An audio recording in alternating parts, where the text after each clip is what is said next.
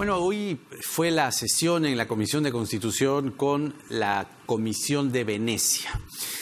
Llama la atención que eh, cerrando esta sesión, la señora Rosa Bartra salga a decir a los periodistas que, claro, los congresistas no tienen mandato imperativo, ciertamente, ni del presidente de la República, ni de la Comisión de Venecia. Lo dijo así. ¿Por qué? No sabemos, pero la Comisión de Venecia, hasta donde sabemos, fue idea de la señora Bartra. La señora Bartra se, le pasa la idea al señor Pedro Laechea y el señor Pedro Laechea es el que manda la carta. Bueno, pero vamos a eh, comentar más allá de lo que se vio en, en las cámaras, más allá de lo que pudimos nosotros observar, o el señor Becerril eh, haciéndonos acordar, o haciéndoles acordar, anotando bien los europeos, europeos no, son cuatro latinos y tres europeos, de la Comisión de Venecia, que tiene cinco investigaciones, no una, no dos, no tres, cinco investigaciones, con la congresista de Unión por la República, Patricia Donaire, que ya está con nosotros. Congresista, buenas noches. Muchas gracias por estar aquí. A ver, antes del eh, tema de la comisión, me gustaría comenzar hablando por los audios eh, que han aparecido en la víspera, que si bien son de noviembre del año pasado, adquieren mucha relevancia porque es donde empieza este proceso. Cuando el señor Blume les pide a los congresistas, le pide al Congreso formalmente, quiero decir, que se agilice o se inicie esta, esta elección. Eh, ¿En qué finalmente puede quedar todo esto? Porque ustedes están junto a otras bancadas, eh, un pedido de nulidad están presentando del, proceso de elección de los nuevos integrantes del TC. Ustedes hablan de un TC Express del Fujimorismo y sus satélites que no está respetando los procedimientos. Ellos dicen que están con los tiempos. El señor Orechea dice que hace nueve meses esto se quedó paralizado. ¿Dónde estaría el no respeto a los procedimientos para usted? En realidad hay una necesidad de aprobar esto cuanto antes posible.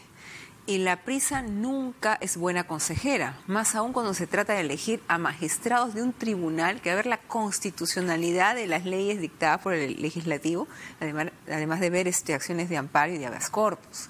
Ahora, hemos en estos días nos hemos enterado de varios cuestionamientos, algunos, justamente algunos candidatos para el Tribunal Constitucional. Entonces, aquí nos da la razón el hecho de la premura, más aún cuando ha sido por el mecanismo de la invitación, que es un mecanismo que no comparto, que para mí debería ser vía un concurso público de méritos y analizar currículo por currículo contrastando los datos, porque es la única forma de determinar si realmente estos eh, candidatos son idóneos para estar dentro de un tribunal constitucional.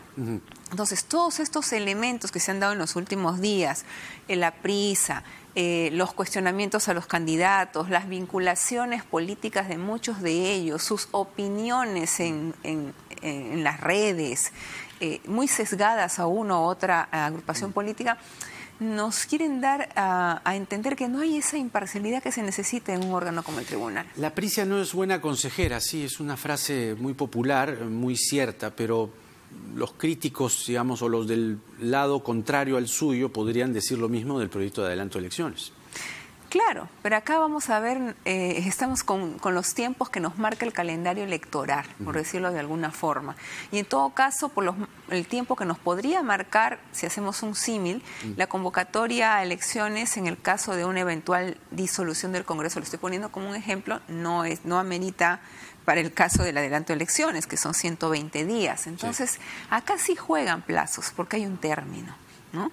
En el caso del Tribunal Constitucional hemos esperado muchos meses y no porque haya habido una inacción de parte de, como se quiere atribuir la culpa o la responsabilidad del todo al congresista Salaverry, sino porque la verdad que no se ponían de acuerdo respecto a la proporcionalidad de los integrantes que iban a elegir a los miembros de este Tribunal Constitucional. Entonces acá hay una responsabilidad compartida y muy grave, pero no porque haya la necesidad de, hacer cambios en función a las circunstancias, es que tenemos que apurarnos. Claro. Ahora, eh, ¿qué puede salir finalmente de lo que pueda opinar la Comisión de Venecia? La señora Bartra, como lo decía en la presentación, hoy parece como eh, poniendo el parche diciendo que em, no tienen mandato imperativo ni de la Comisión de Venecia. ¿Hasta dónde puede llegar? Porque ya lo han dicho, lo han anticipado en la víspera, algunos de sus representantes, el propio presidente de la comisión, que ellos no van a pronunciarse en un sentido u otro. ¿Para qué los trajeron? Efectivamente, eh, nos lo han dicho ahora también en la reunión que hemos tenido por la mañana, que la opinión de ellos es netamente jurídica como corresponde, y es más, el debate eh, dentro de esta reunión ha sido eminentemente jurídico y doctrinario. Entonces la parte política no cuenta, por más que se quieran generar escenarios de caos, que no sé de dónde se los inventan, de golpes de Estado, mm. de dictaduras, de persecuciones políticas, por la eh, existencia de estos audios que se escucharon, eh, de este audio que se escuchó el día de ayer, que sobre el cual se habla de, un chuponeo ilegal dentro del Congreso y la verdad que no se recuerdan los antecedentes que hemos tenido. En el caso Kenji Fujimori, quienes han utilizado audios chuponeados han sido ellos. Y no solamente para destituir congresistas, sino hasta impulsar la renuncia de un presidente de la República. Entonces, yo creo que los fundamentos que han escuchado la Comisión de Venecia hoy día, que son los estrictamente legales, serán los que finalmente los valorarán. Pero, como dice la presidenta de la Comisión, son meramente referenciales. Y yo no sé en qué medida eh, vamos a esperar hasta el 11 y 12 de octubre, que es cuando han dicho ellos que formalmente van a emitir un, pronunciamiento. No sé si vamos a esperar esa fecha para emitir un dictamen, porque entiendo que la presidenta de la comisión está por convocarnos en estos días de la semana, lo ha dicho hoy día, al, cerrar la, eh, la, sesión, para, eh, entiendo yo, discutir el tema de adelanto de elecciones. Ahora, siento un poco de vergüenza ajena, ¿no, no, le pasó eso hoy? Es decir, eh, a veces los, por ratos, cuando los ponchaban a los señores de la Comisión de Venecia, uno decía, claro, ¿qué, están haciendo? Les decían, investiguen, que vean el tema de Keiko Fujimori, es decir, cosas realmente sin sentido. Ellos son legisladores. Lo mínimo que hay que hacer es preservar un poco la imagen del Perú hacia afuera. Yo no sé qué impresión se pueden haber llevado ellos de esta sesión. ¿Usted qué piensa? No lo sé, creo que sus rostros podían decirnos algo. Eh, ¿A usted qué le decían? Eh, que realmente no se estaban centrando en el tema para el cual ellos habían sido invitados. Es más, al inicio de la sesión lo, dijo uno de los integrantes, que mm. ellos venían a, a, tener una posición netamente de derecho, a escuchar los argumentos jurídicos que ellos no emitían ninguna opinión de contenido político y durante toda la sesión lo que más hemos escuchado son argumentaciones políticas que no venían al caso, porque la idea era que quienes están en contra del proyecto de adelanto de elecciones digan por qué creen que es inconstitucional. Claro, argumentos creen que no procede. ¿Por qué creen que hay una violación del Estado de Derecho? Y muchos hablaban de Estado de Derecho, pero no sabían en sí qué es un Estado de Derecho. Y lo más eh, lamentable, y me van a disculpar mis colegas, era presentar escritos y leerlos. Parece que se está haciendo ya una costumbre en el Congreso el llevar un escrito y leerlo textualmente. Ojalá pudieran entender el contenido de lo que han leído. Pero el ejemplo lo da el propio señor Olaechea. Por eso te digo, se está haciendo una costumbre que creo que no deberíamos tomarlo como un ejemplo positivo. Un presidente del Congreso no puede estar saliendo a leer comunicados porque puede hacer pensar o que no sabe lo que lee o que le dictan el libreto y eso es pésimo. Pero él reclama, a propósito de los audios, una investigación porque se habla pues de una...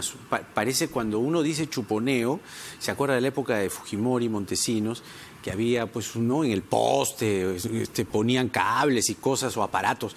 No, esa conversación, cuando uno la escucha bien, se da cuenta que está dentro de o de un traje, porque rosa con una ropa, o de una eh, cartera, de un bolso es un teléfono celular. Todo indica que alguien dentro del Congreso ha hecho esa grabación. Pero más llama la atención que todo el mundo, bueno, digamos, el espectro fujimorista y la mayoría parlamentaria han puesto el grito en el cielo por unas grabaciones que sí podrían ser condenables, porque ¿qué hace ahí un, un infiltrado grabando? No sé, pero no escuché nada, nada de adjetivos de ese tipo o similares cuando los mamani audios, los mamani video grabados con reloj, todo dentro del Congreso, y o el audio del presidente Vizcarra en, en Arequipa. Tampoco. nada, ni una crítica, nada. Hay un doble juego aquí. Bueno, absolutamente, ¿no? Porque no están midiendo con la misma vara. En el caso de, de Kenji Fujimori, que fue gravísimo, también él podría hablar de una violación a su privacidad. Sin embargo, la importancia del video y, eh, que incidía en asuntos de interés públicos hacían que se tome decisiones.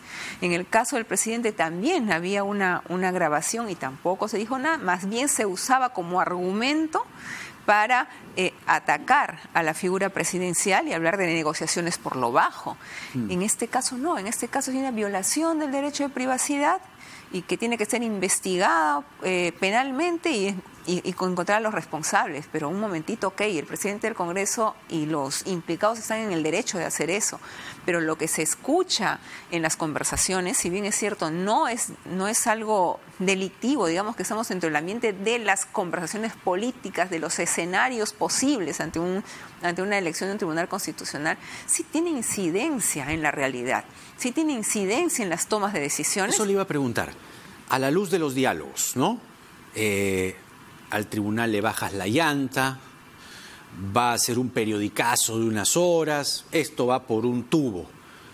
Teniendo en cuenta que si bien estos audios corresponden a noviembre del año pasado, a la luz de los 11 postulantes de hoy, ¿cree usted que los audios deslegitiman el proceso que el propio señor Leche ha ratificado para el 30 de septiembre? Pero por supuesto, estos audios te indican cuál era el camino que se iba a seguir, cuál era el momento que se estaba esperando para la determinación de quiénes iban a ser los candidatos del Tribunal Constitucional y cuál era la estrategia para ello.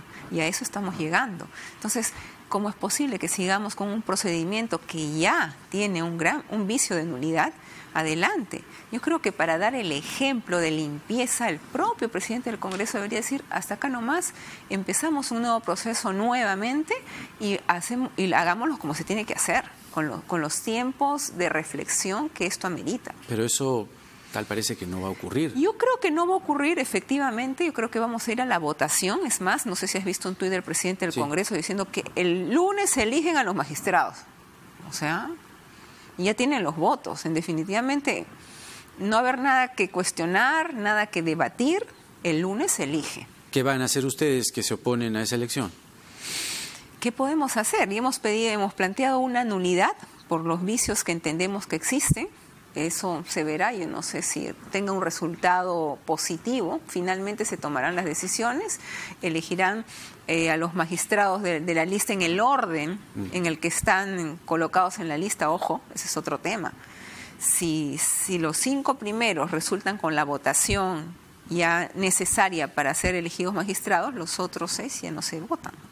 Claro, se vota en orden. Entonces, hasta la estrategia del orden ha sido tomada en cuenta, ¿no? Entonces, realmente es un escenario complicado que hubiera preferido que no, que no existe en este momento, porque genera mucho más confrontación y más dudas de la legitimidad de este proceso. Patricia Donaire, de Unidos por la República, todavía aún todo es incierto, pese a que el presidente del Congreso insiste en que la elección se realiza sí o sí el día lunes. Muchas gracias por venir. Gracias.